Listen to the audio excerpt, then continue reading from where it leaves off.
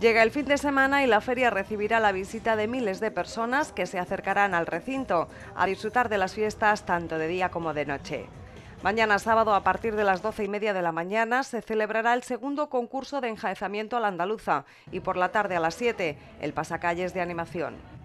Por la noche, a partir de las diez y media, un espectáculo ecuestre de Francisco Tineo en el picadero del recinto ferial con entrada gratuita, aunque el plato fuerte se servirá en la caseta municipal a partir de las doce y media de la noche con la actuación de Rosario Flores, también con entrada gratuita.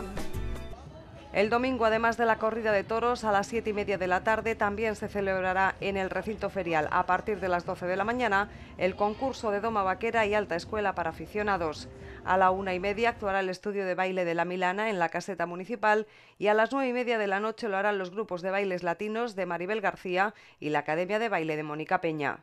Además de estas actividades, en el resto de casetas también hay previstas un sinfín de ellas para todo tipo de públicos.